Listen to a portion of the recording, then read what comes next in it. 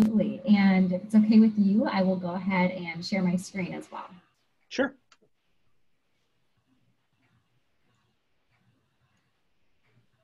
All right. And can you see my screen right now?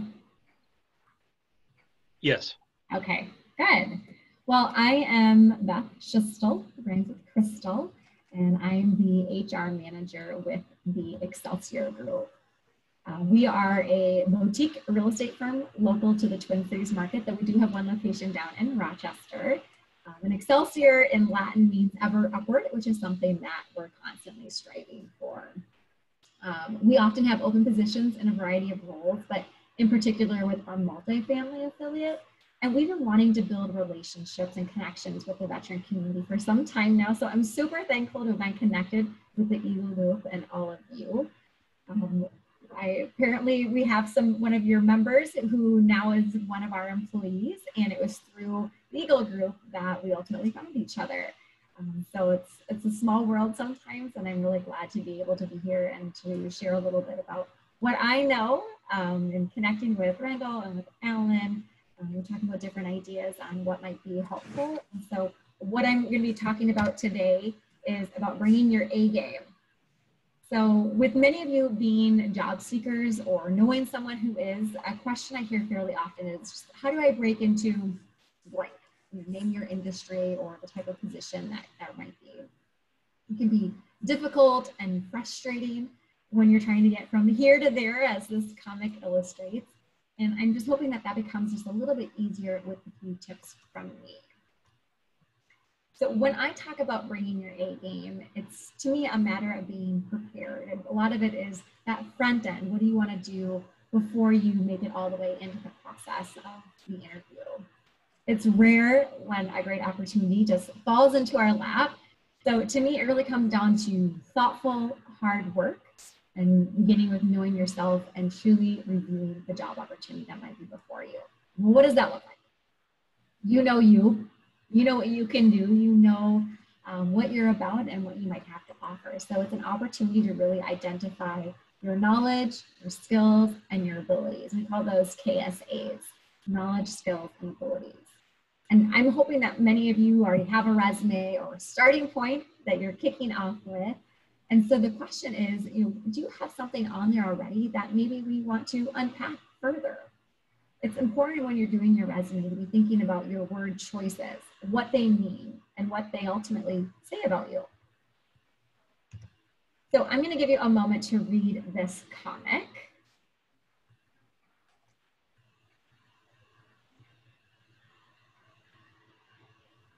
So in this example, uh, this is a Dilbert comic. Uh, pointy-haired boss says that he hires someone who is driven. And evidently his definition of driven was a little different than the person he hired. Um, pointy haired boss, of course, thinking that he was driven, meaning motivated. And the reality it means that, you know, he might have been waiting to get driven by a, you know, a chauffeur, a shuttle, a bus, and taking him to work. So um, it's important that we're very clear in as we talk about who we are and what we're doing to um, add some context, add some color to what it is. So I mean, this is a cartoon, um, but there's room for misinterpretation in a lot of the things that we say and a lot of the things that we do.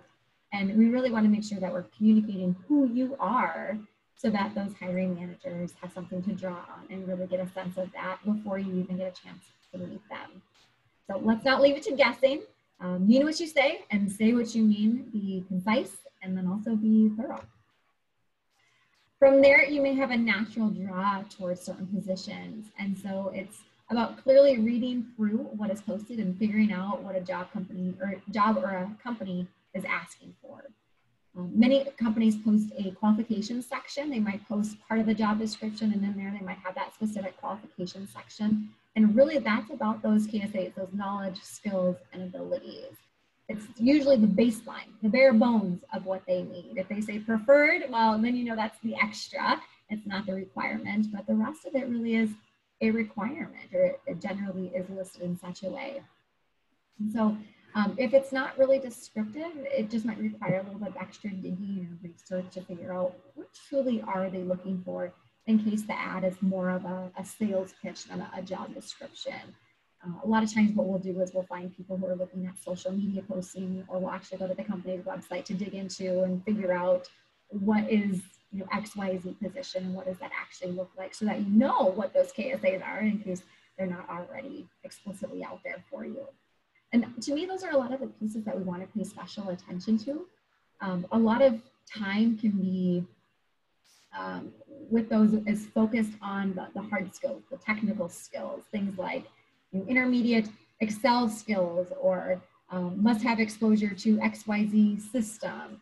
Um, those are things that are often taught and the rest are going to be those soft skills, things that are more innate, that are harder to come by. Many of them can be taught, but it, it takes a lot more effort and, and time than, than some of those hard skills can be.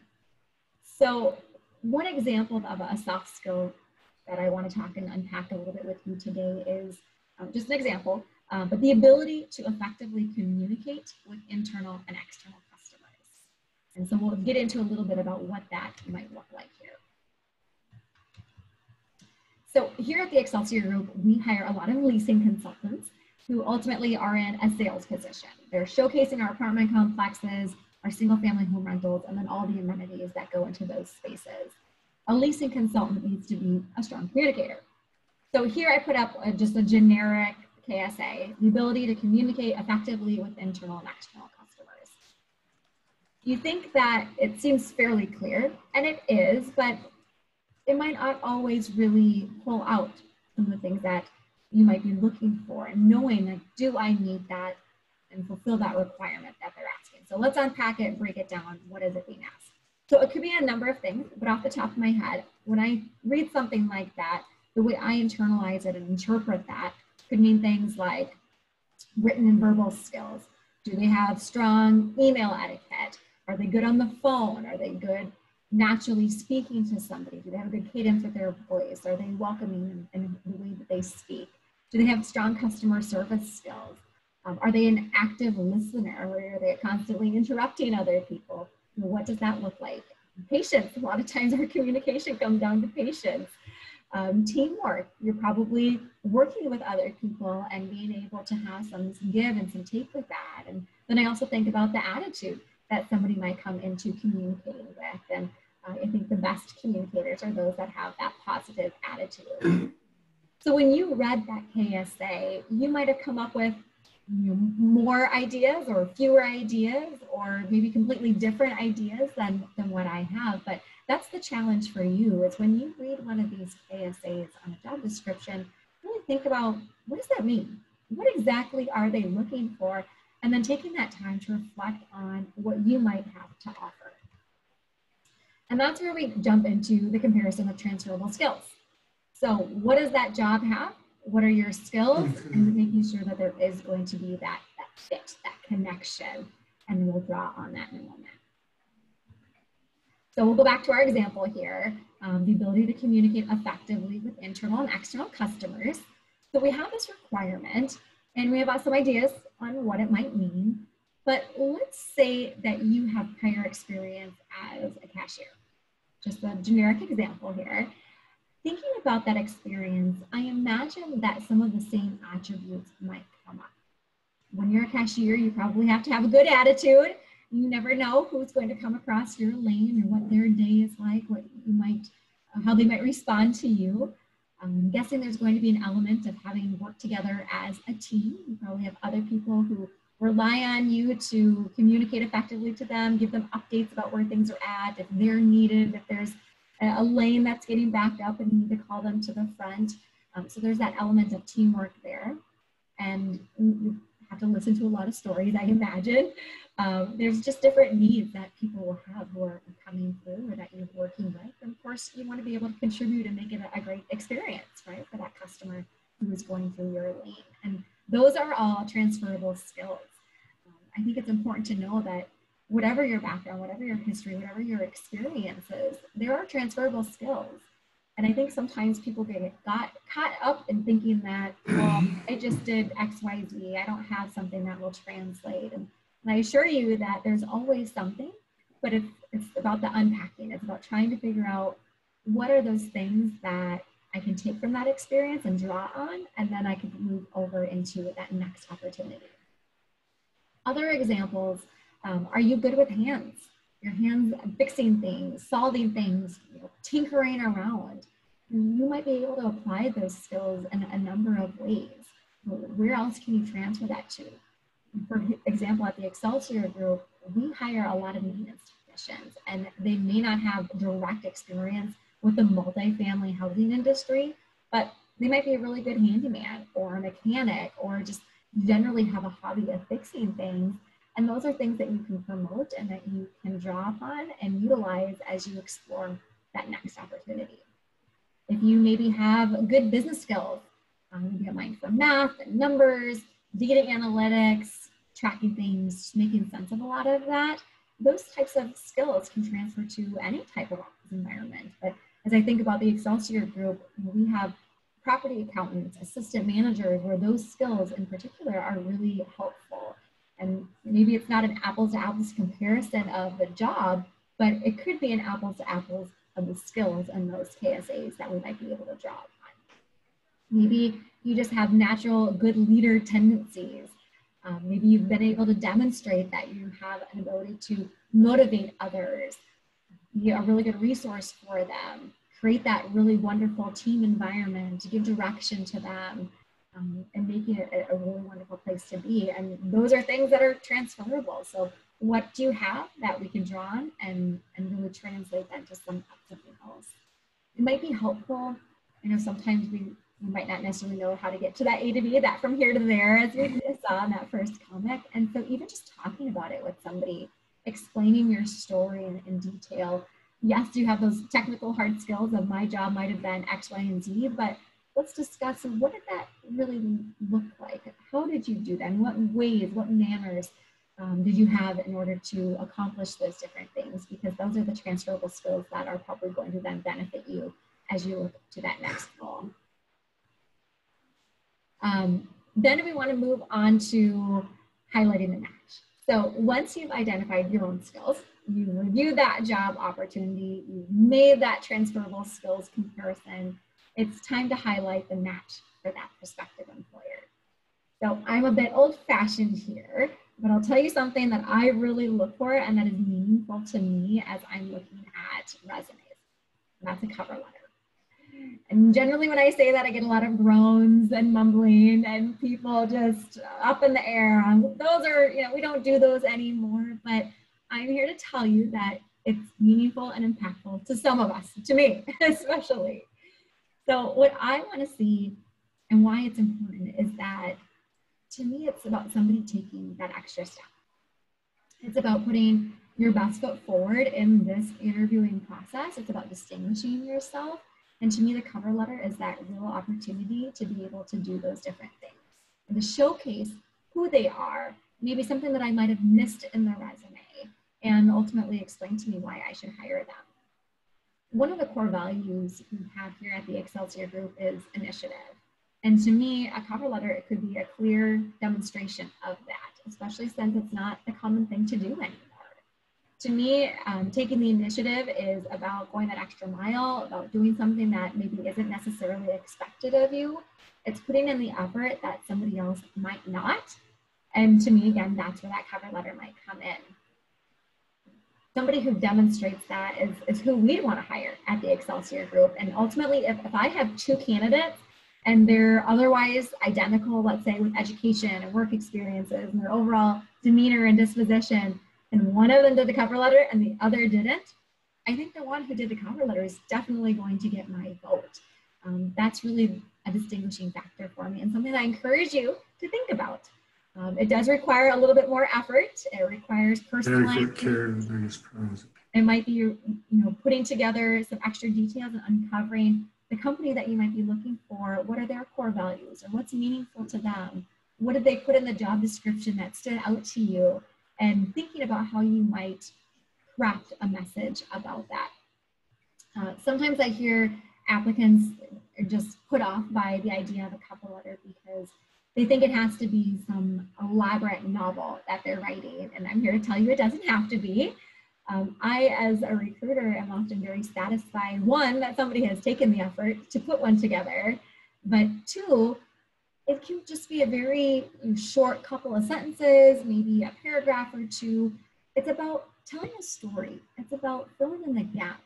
Because as good as a resume might be, sometimes it's not everything. There might be pieces in there that are missing or that really don't tell who you are or what you have to offer. And that cover letter to me is the opportunity to say, okay, I may not have exactly what you're looking for, or I may not have been that exact apples to apples position in the past, but here's what I can offer. Here's what I know. Here's what I can do best. Here's what you're going to, to see as if you hire me and what I can offer you. So taking just a little bit of extra time to do that. Maybe have a template of some core things that you want to demonstrate and talk about no matter what position or what company, and then you can tweak it just a little bit if necessary or, or not. But I think just the fact that you have something to showcase who you are beyond a resume can be really impactful, especially to someone like me. Um, this is a great opportunity as well to highlight that you are a vet uh, or that you have those vet connections. Your resume probably also says that, but you can really explain more about your story and drawing on those soft skills that we talked about um, that may not always be as evident on, on just your resume. So here's that opportunity for you to do that.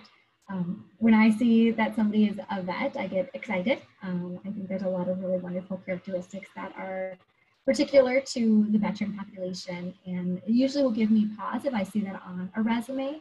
But what I love more is seeing that in the cover letter and seeing an, an additional explanation about that experience or um, things that they might be able to apply. Um, this is probably cliche, but um, years ago I worked more in a production type environment as a recruiter, and attendance was absolutely critical. They had quotas to meet, and they had a lot of work that had to be done at a very early hour, and it wasn't something that everybody could do. I mean, the shift started at 5:30, and I can tell you I'm sleeping at 5:30, so to find somebody who was committed and dedicated and respectful of that time commitment, it was just amazing. And we found that we had a lot of vets in that role who were perfect for it because they honored that more than maybe your average civilian would. So I think there's a lot of things as simple as attendance that are really impactful that a lot of employers frankly struggle with because we're not finding the right people who, who have that respect for, for some of those things. Uh, we also just had yesterday on Monday, we had a, a new vet, uh, he's an Army vet, start with us uh, as one of our maintenance technicians. And he, in his cover letter, he mentioned that he was a vet. And so he just talked very briefly, a sentence or two or so, um, about where he was and what he did. And it was, um, he had a little bit more of a hands-on role. So he just mentioned that, that it was hands-on and that's perfect for us knowing that he was looking to be a maintenance technician. And, um, you know, we might not always speak the language of, of veterans, and veterans might not always speak the full language of, of a civilian, but I think there are so many transferable things, and it's about partnering together and finding those things, those transferable skills, and how we can get those pieces to connect. Um, and that's what he did. He did that in his cover letter, and it was really great and exciting to be able to see that connection that he was able to make and, and help us help him in the end. You know, as you think about prep work, and you know, this is really the, the pre of the interviewing process. But um, I just encourage you to take some of that time to process through what transferable skills could look like. Um, hoping that maybe just some of the few things I shared today might be a, a kickoff for you or get you started thinking about things a little bit differently or things that you might be able to tweak and be able to hone in on as you continue to uh, explore different things and get you where it is that you want to go. Um, I know, you know, some of you might have some questions, and so if you're interested in connecting, uh, maybe in one-on-one or even as part of this session today, I'm certainly glad to do that. We'd love to continue building our relationship with all of you as part of the Eagle group. Um, so let me know if that's something you're interested in. I just put up my contact information, so please take that down and keep it in your back pocket and pull out if you're ever interested in, you know, whether about the topic today, about transferable skills, about anything related to the resume process, interviewing, um, I'm glad to be a resource for you or another resource for you um, just to get that another perspective. You know, that can be good just to hear different ways of how the different companies might come together on, on a particular topic. Um, but I also just generally love the power of networking and uh, you have this really wonderful community of veterans and veteran families. And so if I may, I'd like to ask that if you know of somebody who might be looking for an opportunity that might be interested potentially in joining the real estate, the multifamily housing industry, um, I'd love for you to forward my information onto them and see if we might be able to um, make some connections that way. I think it's really exciting to be able to do those things. And I love that the Eagle Group has already been able to help us bring in an excellent hire as um, we an assistant manager who um, group and that power of networking. So please feel free to share my information if you think there might be anybody who would be interested. Are there any, that's all I have. Um, if there, there's any questions, I'm glad to take some of those yeah. now. Yeah, there's a few in the chat if you want to look in there too, Beth, to get started. Sure, let me see if I can find that. I'm just gonna end this slideshow real quick to help me find the chat. It's along the bottom of the Zoom screen. I've got to get my screen a little bit bigger. It's my, my first time being really in a, a full Zoom. Well, um, while you're doing that, it seemed like there was a lot of questions around cover letters. Uh, you know, what form, format, what goes in them? Um, is there any templates or styles or things that are particular of interest to you particularly? So if you want to maybe start there. Yeah. So with cover letters, I think they can be pretty simple. I, I wouldn't say they have to be anything big. In fact, you know, you could write it as your typical business letter where you've got the date up top and you know to whom it may concern or if you have somebody's name and what it's about and, and, and diving into what your introduction is. But by no means is that required. In fact, I mentioned the vet that just started with us this um, yesterday, and his was very simple. It was just, uh, you know, dear hiring manager, I'm really interested in this particular opportunity. I think it's an, a place where you can highlight where you heard about the opportunity, why you're interested in it. There's something that stood out about it. Um, and then, then that's where you have a chance to go, okay, I'm interested in this because of X, Y, Z, because I'm really good with my hands, because I'm really good at customer service, because I've always had a passion for real estate and I want to dive in and learn more about this, or I love accounting and this position as I read through it, it got me really excited for these different reasons. Or I've heard about you, or you know, whatever that that is. Um, maybe you're wanting to work at a bank where you could talk about that. I've worked with, you know, US Bank or I've had a US Bank account for the last 20 years and it's been a great experience and I want to contribute to something like that. Um, it can be so generic, it could be robust. I think the point is that you do something, that you write and something that is um, meaningful and personal to you.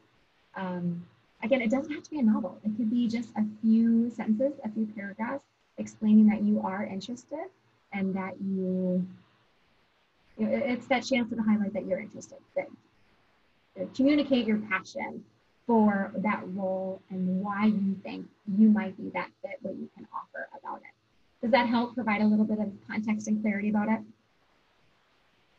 That is good. So provide the why behind the application. Yeah, exactly. Very cool. Thank you. That's a good perspective. And I'm sorry, I still don't not able to find where my. Um, so if you pull up your Zoom window, the Zoom application, there should be along the bottom a, a green share screen button, or at the top, maybe you should be able to turn off screen share. Oh, yes. Ellen, I'll just ask my question. Um, um, hi, Beth. I'm Scott. I'm, I'm sorry, I'm having a hard time hearing you. Okay, I've had trouble with my. Uh, my that sounds much better. So, um, I'm an employment specialist with the Minnesota Assistance Council for Veterans, and um, my question was that um, previously they've talked about cover letters to talk about how you would fit with the company but I know that lately they've done cover letters to talk about how um, the company kind of fits with you or the interests of the company itself. Um, more about the company and less about the person. What do you look for? That's interesting. I mean, I think it's helpful to certainly talk about the company and what it is that's appealing about them. Um, in my own cover letter, what I've done in the past is I start out with my intro um, where I found the opportunity about the position. And then for me, and, and for the Excelsior group, our core values are really important. And some of those soft skills that not everybody has. And so for me, it's always really important to, to zero in, okay, what, what are your core values and how does that align with my core values? And so I really try to make that connection first and foremost because it's about them and it's about me. It's, it's kind of that win-win. It's that combination of what we can do together and why it's a fit. Even taking the position out because maybe that position comes and maybe that position goes. Maybe there's something else that I'm a better fit for. Maybe there's um, a different role that makes sense for me. And, and sometimes as an applicant, you might not necessarily know what all those rules are, but you know that if a company is a good fit for you, that you want to be part of that company. And so that's the approach that I personally have taken is I found a company that I want to work for. And I'm open to those opportunities. So maybe it's less position specific and more about that particular company. Um, and zeroing in on who they are and why I want to be part of their company and talking about them how I, I can fit what it is they're looking for. So with the Excelsior group, we have six core values and it's, we, we post it on our careers page, we make it very known. And in fact, as part of our application process, we want people, we want applicants to write in what our six core values are because it's so important to us. We want them to recognize that at the very front end. And so then if somebody pulls that into a cover letter, that's appealing to me because it shows that they're actually paying attention. They understand that the core values are really important to us, and they're making the connection that the person, the personal side, those personal attributes, the soft skills that somebody has are a foundation for us. Now, not every company is like that. I mean, I imagine, you know, big corporations, they probably don't care quite as much as those things, but we're a small company. We're only at about 160 employees. And so you know people and you want to be able to work with people who share your core values um, because you're seeing them so much day to day. Um, so I think to answer your question, it, I think it makes sense to talk more about the company, but ultimately it's your story and your way to convince and showcase and use it as that sales pitch before you have a chance to really make a sales pitch in the interview. It's your chance to show who you are, what you're about, why you're that person for that right for that job, and then get that interview where you can talk more about it.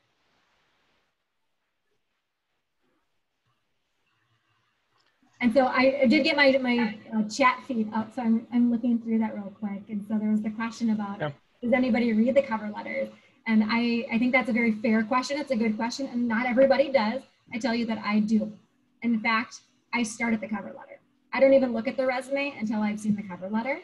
Um, we have a number of positions where written communication is really important. And so we've made it a hmm. requirement for some of those positions.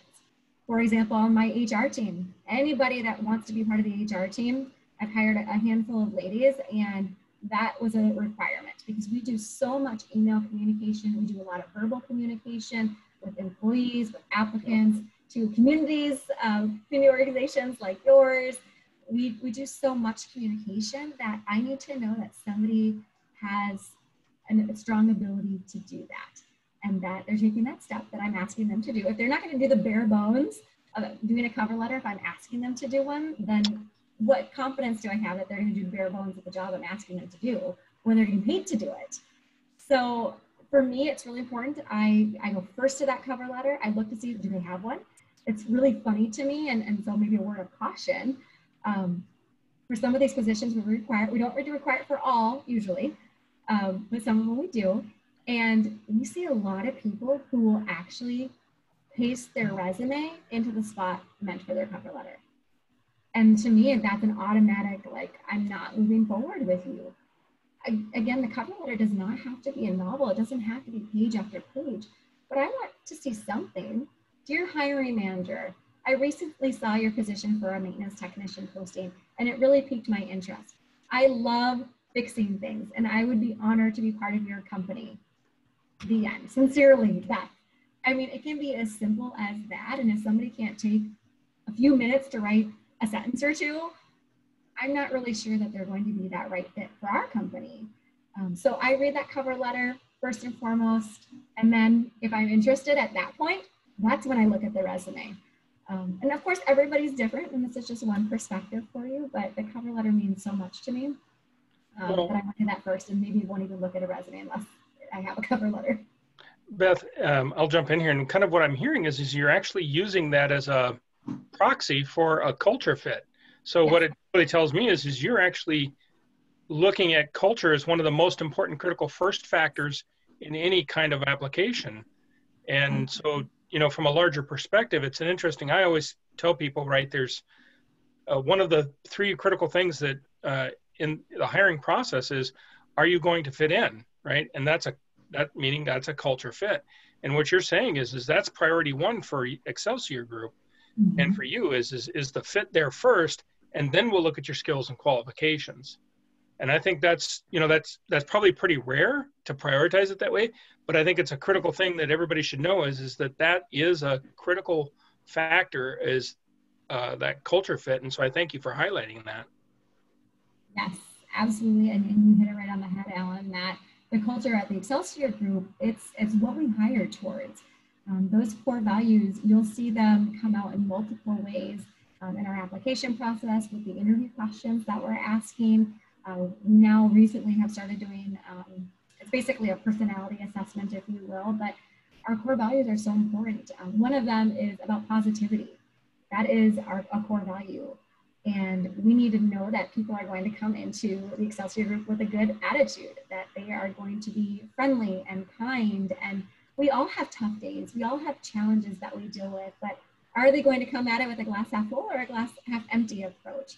And so if, if they're able to do demonstrate our core values from the get-go, from the very beginning, before we've ever had a chance to meet them, then that's going to be a really good reflection of who they could be for us in the long term and, and hopefully you know, be with us down the road. And, and it wouldn't just be a job, just something to, to break in a food box, but it could be a career, it could be a family that you're, you're joining if you're really attuned to those different things that a company Beth, I'd like to say when I work with my clients, I actually tell them to look at culture, their their beliefs, their culture, and then to find a company that matches up with that. Mm-hmm. Because there's going to be that passion there. There's going to be that connection, and, and you know, I would say that there's a majority of the companies that I talk to and the hiring managers that they're, they're willing to, to kind of to bend the KSAs, not completely. You got to be in the ballpark, but people quite often will hire somebody on their passion for the culture and fudge on the KSAs. Yes, absolutely. I couldn't agree more, Scott. Um, I think that if we find the right person, then you know the job is secondary. It really is. Um, and that's a message coming directly from our CEO that we have to find the right people to mm. maintain our culture. And the job is secondary. I mean, a lot of these things, again, we talk about the hard skills and the soft skills. The hard skills are, are very easy to train. Okay, so you're not an Excel expert. Whatever, we'll get you there. Um, hopefully you at least have some technology basics. Uh, you can turn on a computer and, and, you know that'll get us somewhere.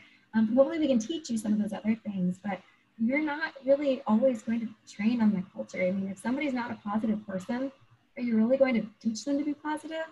They might fake it for a while, but I mean, at, at the end, you're going to see who they are. And if they're not positive, that will come out eventually. If they're not um, humble, if they're not willing to take the initiative, I mean, we, our performance reviews are about our core values. We literally have mm. our core values ranked across the top and we assign you a ranking you're either a positive, meaning you demonstrate that consistently. You're a, a plus minus, meaning you occasionally or sometimes or periodically. And then you're negative where you don't do it nearly enough and we need to do more of that. So it's a three point scale with our core values right at the very top of our performance review because it's, it's who you are, the essence of who you are and you're demonstrating yourself to be. And if you can get that, then a lot of the rest of it just naturally comes in and we can work with you on those things um, and it's to the point with, with our company, again, we're, we're fairly small that we have that right person.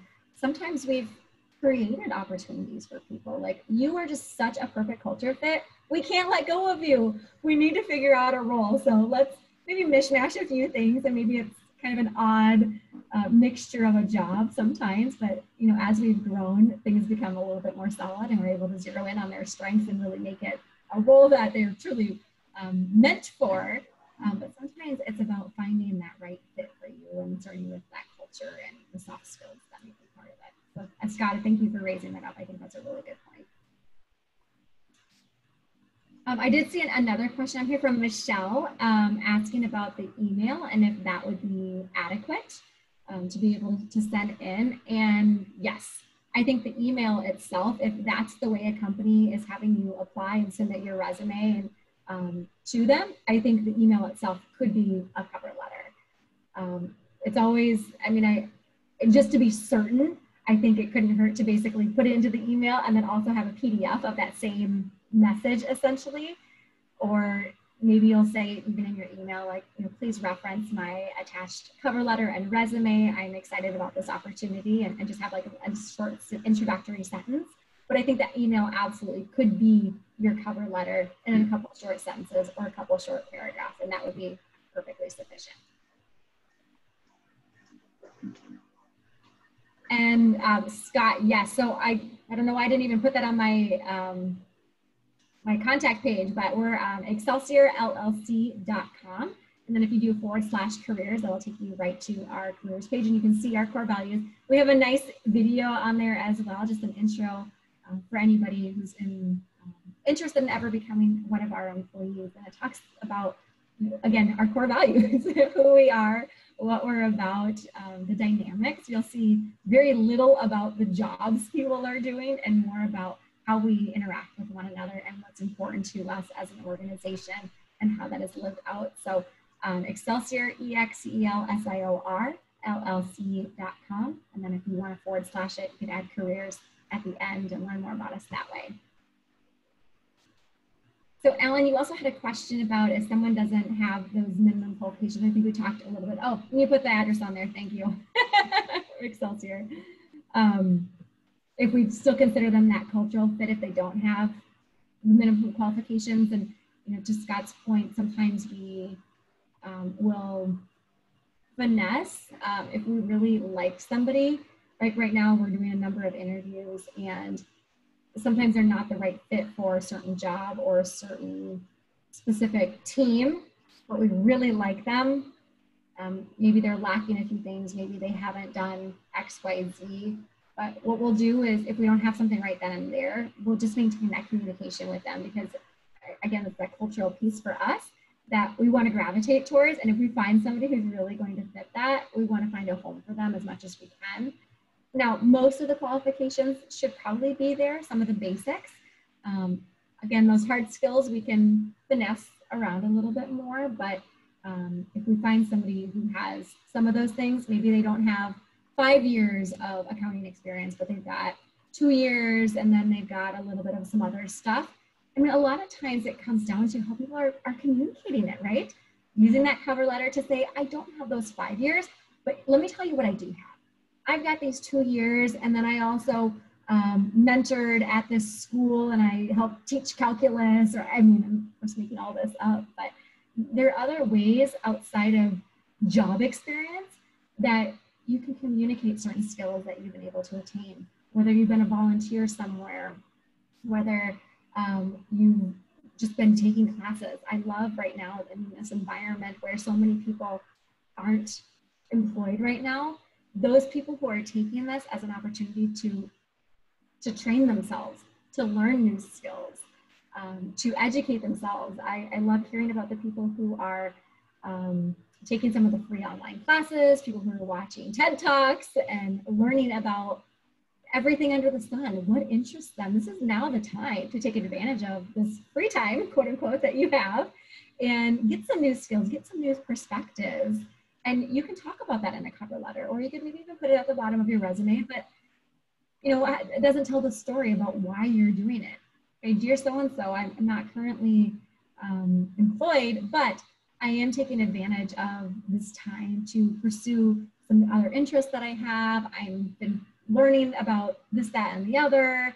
And I think what I've learned recently might apply to your position or your company because of whatever. You know, I recently saw a TED talk about this. What do you think about that? Maybe posing some questions to them. There's a lot of things that you can do right now if you're, you're not employed that will talk about those things.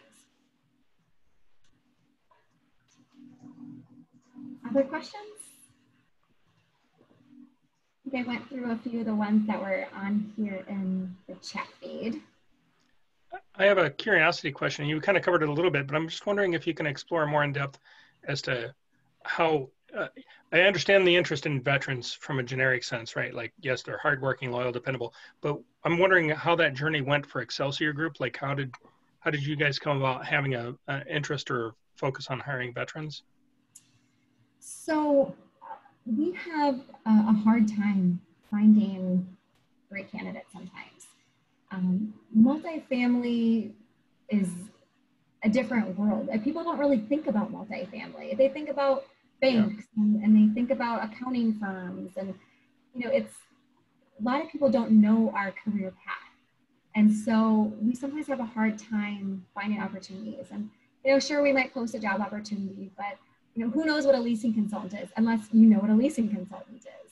A lot of people aren't typing those words into their searches. And so we're just having a hard time getting the word out there. And so one of the initiatives that we've been trying to do is trying to figure out what different community groups are out there that maybe are underrepresented at the Excelsior group and that we want to see more of.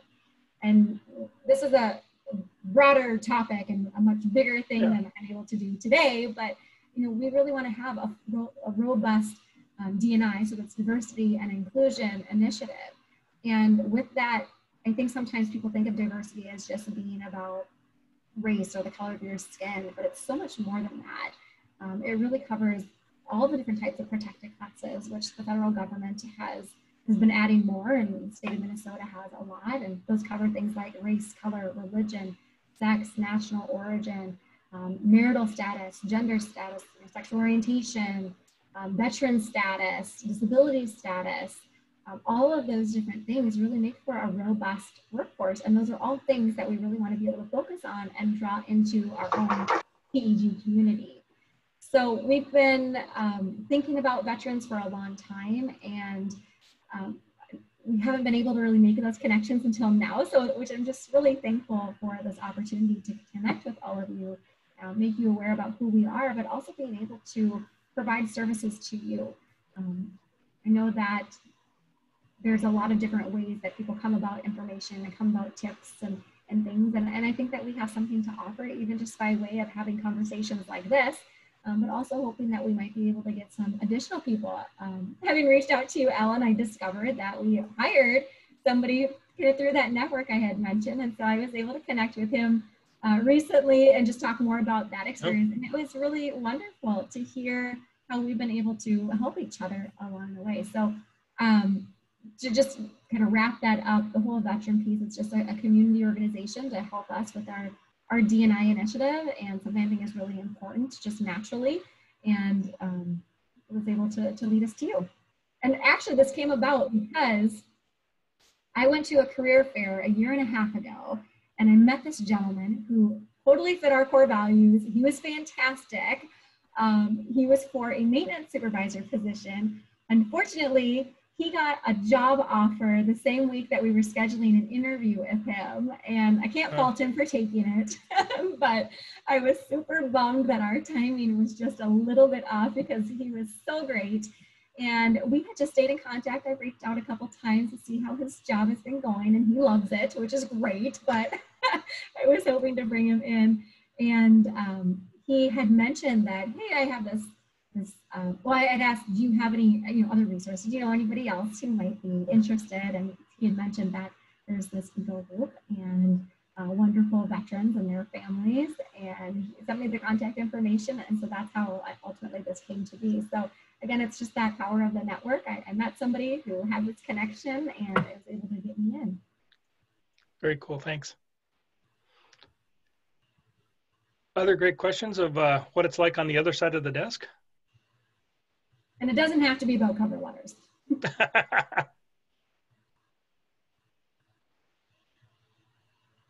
I'll give everybody a chance to get their questions in. Sure. James? Yeah, I'll, I'll try one about resumes. Um, when, when, I'm, when I'm trying to, you know, I've gotten to the point where I know that I'm, I'm, I'm supposed to match you know the, the the, desired qualifications you know the the preferred qualifications uh, some items from the roles and responsibilities and, and try, try and match those up and, and demonstrate those in the resume. Um, and, and and i'm trying to do it in a way that it right, here's my question. When i'm doing that how obvious should i be?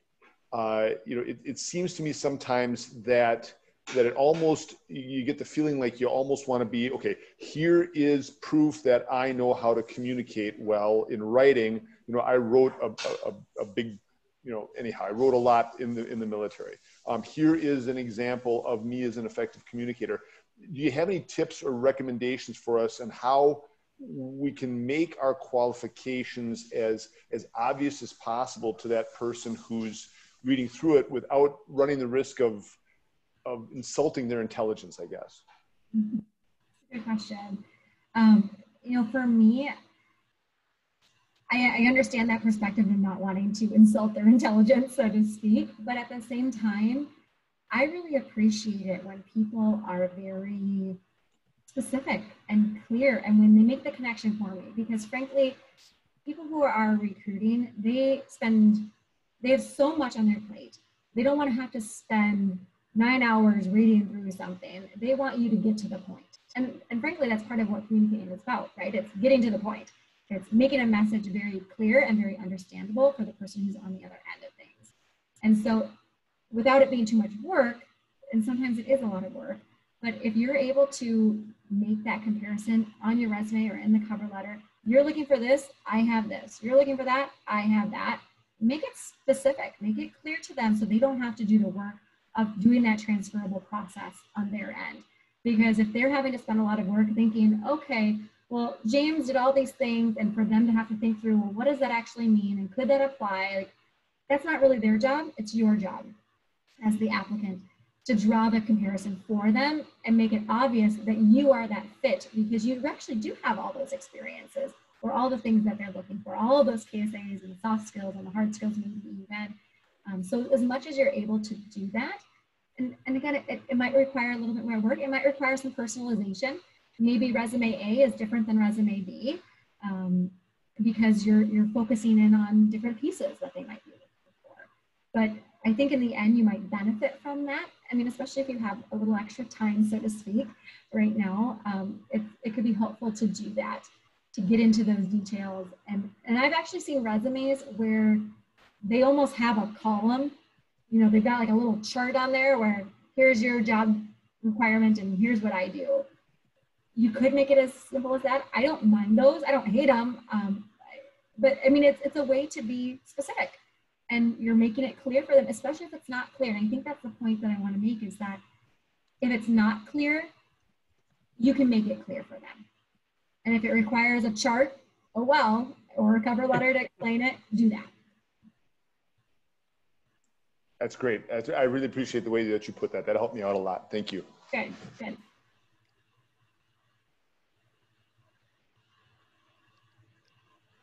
Chad or Mark, is there any questions that you guys have? Not For me, no, thank you. Not right now, no, thanks. Awesome. And um, Scott, you wrote a quick message in here about um, military communication being different than civilian correspondence. And, and I think you absolutely have a point. And I think that's where, you know, if I can be a resource to anybody and if you want to talk through different things that you have done and to try and find some of the words that might fit a civilian job description better, I'm certainly glad to do that. Um, but I think that's where sometimes talking things out, um, you can paint that story you can paint that picture better of what it is you did. Um, you know, I, I, do have some vets in my life, and so it's, it's good for me too to hear that, to be in an environment where I'm hearing some of the language. Because even if you think about different companies, well, we have so many acronyms and different things at the Excelsior Group that somebody coming in off the street is like, "What? What are you talking about?" Um, we were actually we're recruiting for a recruiter, and uh, it was funny because I put in the we have this interview guide that we have uh, a question about an ATS. And the hiring manager just said, you know, she sent me a quick message like, what's an ATS? So even within my own department, she has no idea, but it's an applicant tracking system. Uh, so we all have our own language that we're speaking, and so it's up to us as applicants to make it clear to the other person on what it is that we're trying to communicate. So sometimes that just means talking with a civilian like me and trying to explain something that we can maybe finesse the language a little bit or spell something out if it is an acronym so that the other person might have a better sense of what it is we're trying to communicate. And, Beth, you just mentioned the ATS system, and I just would like to point out that um, that um, military uses different terminology, like you brought up, and if if it doesn't match up to what the ATS is looking for, we're going to get missed. And so, uh, you know, once again, this I I'm a big believer in cover letters. I think that they personalize. Um, resumes are data. Cover letters personalize the application. Um, but I just want people to understand that ATSs are out there and it's the applicant's job to be able to present themselves in a way that meets the ATS requirements. Yes, absolutely. And every ATS is going to be different in what they're looking for. If you get into one of these larger companies, or you're trying to get into one of those larger companies, they might have other specific criteria than the next company over might. Um, our ATS, we really try not actually to use very many screeners um, because again, I think it comes down to the cultural piece and to the cover letter and the cover letter, you know, it, the tool that we have isn't able to get into those details and it doesn't, it doesn't do the, the keyword searches for us, which some ATS might. And so I think it's good to be mindful of the size of the organization that you're applying for and being just aware of some of the uh, applicant tracking systems that are out there and if it's a bigger, broader, more well-known one, it may have some nitty gritty pieces that screen you out. Uh, we don't require, so how do I phrase it? We, we have a couple of screener questions, if you will, but we have set it up in such a way that your answer does not disqualify you. We set it up as a way as more just an informational tool for us as we're looking through resumes. We can have this at a glance of, okay, Mark, you know, said that he can't work weekends. Well, this position requires weekends, but I still might want to talk to Mark. I still might want to figure out more about who he is and what he has to offer. Um, because maybe we can work out an arrangement. Maybe he doesn't work every weekend. Maybe he'll work just one day periodically. Maybe we can have a conversation about it, but at least I have a starting point of where he's at and how he answered my questions. Um, right now, we're looking for a recruiter, I mentioned, and you know, so we've got some specific questions on there. You know, do you have applicant tracking system experience? Um, do you have a certain bachelor's degree? If not, oh well. I mean, it just gives us that data point of what we're starting with so that we can then go to the conversation knowing a little bit already about somebody. But there are a lot of ATSs that if you don't have those things, then you're gone. Like you just disappear into that black hole so every every one is a little bit different, and just being mindful that you might have to generate certain keywords so that if you go to a big big company and they have an ATS set up to screen that way, that your keywords aren't missed, and that you do get that opportunity to maybe even get your, your face in front of somebody.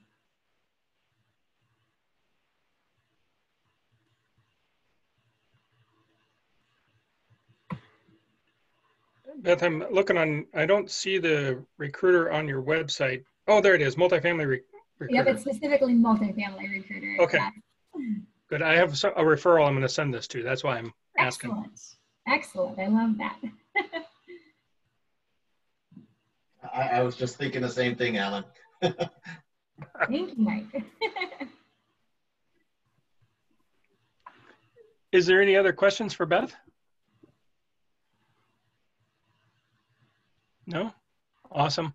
Well, if not, um, Mike, if you could stop the recording and then uh, we'll continue on with the next.